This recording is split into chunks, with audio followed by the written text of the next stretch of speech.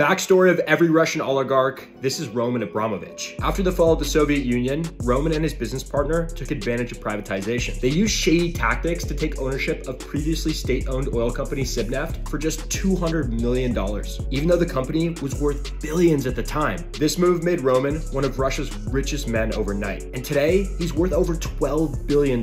His wealth enabled him to buy soccer team Chelsea FC in 2003, in addition to a $400 million, 500-foot yacht, a $118 million home in London's Billionaire Row, and a $90 million estate in the Caribbean. And that's not to mention his personal aircraft, a Boeing 767, which has a banquet hall that can seat 30. But during the Russia-Ukraine war, Russian oligarchs are now under intense scrutiny for sanctions. And despite condemning the Ukraine invasion, Roman is scrambling to sell his assets out of fear of seizure. He recently announced his intention to sell Chelsea FC for an asking price of $3 billion, which if approved, would net him a 15x return.